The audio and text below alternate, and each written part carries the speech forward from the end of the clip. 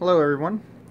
Wanted to make a video regarding two things. Uh, those things are connecting your TV to the internet and once it's connected to the internet sometimes people have contacted us saying hey I'm trying to use my Netflix or I'm trying to use Hulu or Amazon one of the apps and it's not letting me it's saying my TV is not connected to the internet so some troubleshooting to get through that one make sure your internet uh, is working at your house, use your check your phone, your laptop, tablet, make sure those other devices are connected to the internet. If they are, then most likely your internet is good.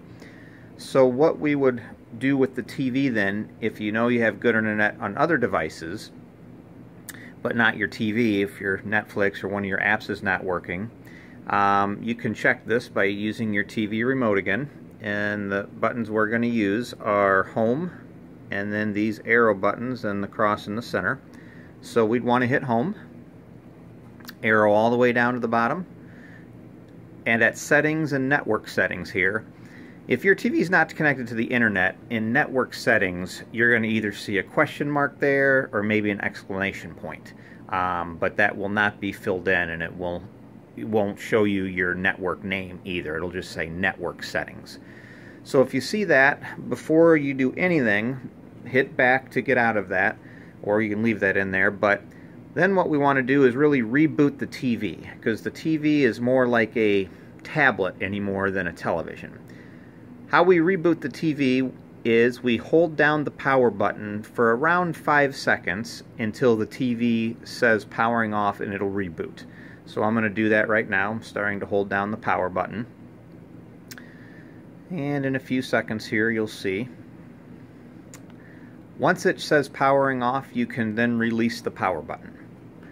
And now the TV is going to do its reboot. Um, this is just like rebooting your computer. It starts doing something crazy. Um, what's going on here? You basically reboot it. Sometimes you unplug it. You'll also see this. This is normal in a reboot. Um, Sony's going to do the. It's going to do the Android. You'll see all these colors on your screen. This would apply to Sony TVs um, in the following series of their models. Generally the C for, uh, yeah, it would have been the C model. Um, C for cat, D for dog, E for Edward, and F for Frank. Um, models ending in those letters um, with Android TV settings. Um, with the Android TV, this would apply to. Alright, so now our TV is rebooted. We've got our picture back and everything. What you would want to do now then is hit your home button um, on the remote control. And then it's going to say preparing recommendations, but I purposely have don't have this TV connected to the internet to show you that example. When you come down here to home, if you still see a question mark or explanation point, the next thing I would tell people to do is unplug your modem or router from electricity and then also at the same time unplug the TV from electricity. Um, plug your, mount, your uh, router and modem in first. Um, you can leave them unplugged for a couple minutes. Once you get your modem and router plugged in and you verify, okay, I've got internet back, then plug your TV back in and see if your TV is connected to the internet. If it is still not connected to the internet, after we've done the reboot on the TV by holding the power button, if that hasn't worked, then after we've unplugged our modem and our router and the TV from electricity and plugged them back in, then we want to go into our network settings here and uh, make sure that our TV is set to connect to your network.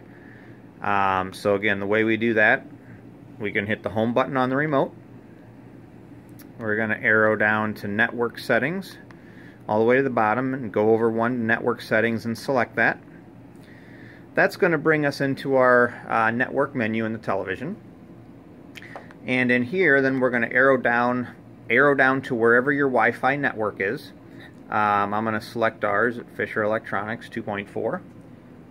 And then here we would enter our password, which I'm going to do and uh, let's see.